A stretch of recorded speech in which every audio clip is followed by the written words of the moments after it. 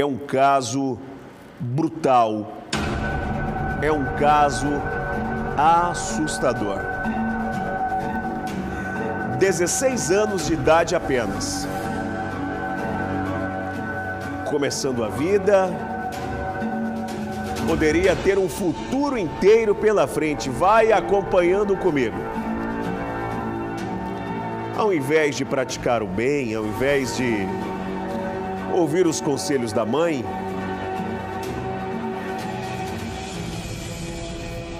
infelizmente ele achou que ele era o dono da vida dele.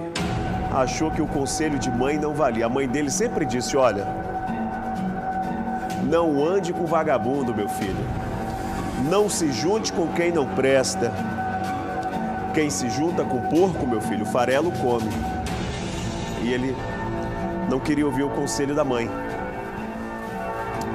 Não quis ouvir o conselho da mãe. Pois bem, ele desapareceu. Desapareceu. A mãe ficou preocupadíssima. Afinal, qual mãe não ficaria? Me dá o Giovanni Júnior aqui na tela. Qual mãe não ficaria, né, Giovanni, com o sumiço do filho? Qualquer mãe. Mas foi essa mesma mãe que aconselhou, a mesma mãe que se preocupou, foi a mesma mãe que recebeu a pior notícia que qualquer pai ou qualquer mãe Brasil afora poderia receber. Ela encontrou o filho dela desaparecido. Só que ela encontrou o filho dela em circunstâncias assustadoras, Cuiabá. Em circunstâncias horrendas, Brasil. Como essa mulher encontrou o filho dela que estava desaparecido, Giovanni? Conte tudo para nossa audiência, pois não, homem do chapéu. Vamos lá, Ferraz. Uma situação delicada, triste, enlouquecedora por parte da mãe, dos pais, porque quem é pai, quem é mãe, independente do filho, sempre vai sentir a dor. Mas o fato aconteceu em Lucas do Rio Verde, aproximadamente aí a 300 quilômetros de Cuiabá, onde desde o último domingo estava desaparecido o jovem de 16 anos de idade, menor de idade, com o nome de Luiz Felipe Ramos, é, que acabou aí sendo comunicado que estava desaparecido à polícia. Então o setor de desaparecidos da Polícia Judiciária Civil estava em busca do Lucas Felipe Ramos, até que a mãe acabou recebendo o telefonema. Alô, dona Fulana, é a senhora que é a mãe do Lucas, né? Sim, sou eu. Negócio é seguinte, dona. Empurramos seu filho, está enterrado lá no bairro Tesselé Júnior. A senhora vai lá em tal lugar assim, assim, assado, que o seu filho vai estar tá lá. Desculpa aí a forma que eu estou narrando o fato aqui, Ferraz, mas é dessa forma aí que a criminalidade fez o serviço de comunicar à mãe para poder enterrar o filho, porque o mesmo, por mais que teria aí várias práticas criminosas em Lucas de Rio Verde, era o filho dela. Então a mãe acabou recebendo informação, foi até lá, acompanhado dos órgãos de segurança e o filho foi encontrado dentro de uma cova, o mesmo que foi morto. E a história você acompanha a partir de agora com algumas narrativas, algumas informações, agradecendo de antemão o nosso amigo Jonathan da Terra Digital, site competente, sempre atualizado diretamente de Lucas de Rio Verde. Acompanhe. As informações que nós colhemos aqui no local é que ele teria assumido, viu, Chico Caveira, por volta de 11 horas da noite de domingo.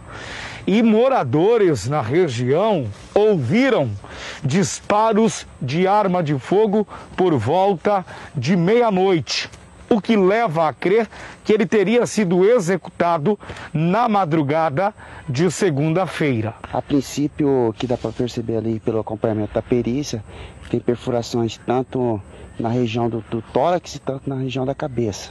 E pelo que os familiares é, falam, realmente trata-se da, da, da, dessa vítima aí. Jovem Luiz Felipe é este jovem que você vê na imagem, né? Fato aconteceu atrás do restaurante do trabalhador, né?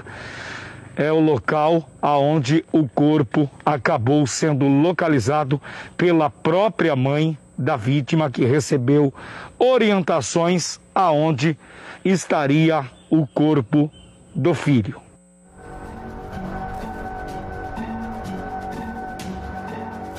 Situação delicada, mas que todos já sabem o final. E a orientação que fica aqui para você que é jovem, independente da sua idade, se é menor ou maior de idade. Quando se envolve com um crime, você tem que ter a certeza, a certeza que se um dia você andar errado, ou fazer algo que dentro da consideração, ou dentro daquilo que é considerado, considerado como a política do crime, você pode morrer. E isso, quem vai chorar por você não vai ser os colegas que roubaram, que furtaram ou que traficaram com você. Vai ser o seu pai, a sua mãe ou a sua família, que como um momento como esse, a mãe do Lucas, foi quem encontrou o corpo e chora sozinha num momento triste como esse. Ferraz? Olha, Giovanni, realmente é uma situação macabra, realmente é uma situação que nos faz pensar, né? Essa rapaziada, me dá mais uma vez a foto dele aqui na tela. Muito jovem, 16 anos de idade apenas. Olha, se conselho de mãe fosse bom, ela não dava, né? Ela venderia. Quantas e quantas vezes a mãe dele falou: Meu filho, não faça nada errado. Meu filho, não ande com quem não presta. Meu filho, estude. E ele ignorou o conselho da mãe, ignorou a primeira vez, ignorou a segunda, ignorou a terceira, a quarta vez. E ele desaparece, sem deixar rastros. A mãe então fica desesperada, querendo informações do filho. Ele já era conhecido por praticar alguns delitos.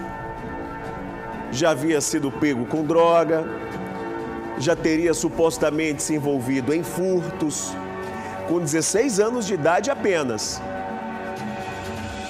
E aí o telefone da mãe toca. Do outro lado, alguém que não quis se identificar. Minha senhora, a senhora que é a mãe do fulano de tal? Ele desapareceu, né? A senhora quer saber onde seu filho tá? Mãe dele, quero, quero saber onde meu filho tá devolve meu filho para mim. Perdão. A pessoa que estava do outro lado da linha diz: Olha, minha senhora, eu vou dizer onde o filho da senhora está. O filho da senhora está morto. Nós enterramos o seu filho em uma cova rasa. Em tal lugar, a mãe dele chega lá, com uma pá, ela começa a desenterrar e é ela quem encontra o corpo do filho crivado de bala em uma cova rasa. Não vê se pode. Qual é a mãe, qual é o pai nesse Brasil que queria encontrar um filho, que queria encontrar uma filha nestas circunstâncias? Osama, você é pai de três crianças, é isso? Tem mais três que você ainda não assumiu, né? Mas vamos falar das três que você assumiu. Você cria as três para serem boas pessoas. Você, como pai, você vai aconselhar a senhora que está me assistindo agora, como mãe, a senhora vai aconselhar o seu filho. Só que muitas vezes não dá para abrir a cabeça dessa molecada e empurrar dentro uma ideia de ser alguém que preste. Às vezes o moleque tem uma índole de ir para o mau caminho.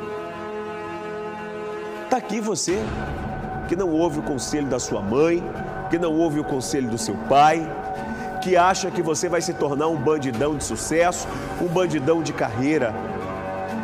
Eu nunca vi um bandidão se criar. Hora ou outra a conta chega, hora ou outra vão cobrar a conta, e quando a conta chega, meu amigo, a conta é alta.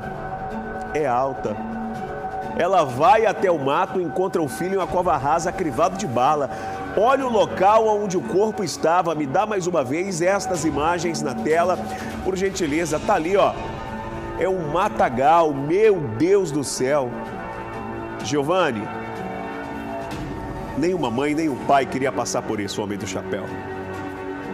Agora eu só digo para Deus, né? Eu peço para Deus confortar essa mulher, a mãe. Infelizmente, o filho seguiu um caminho que ele quis, achou que era dono do próprio nariz, achou que a mãe estava errada e acabou sendo sentenciado à morte. Acabou pagando com a vida no chamado acerto de contas, né? Obrigado, viu, Giovanni?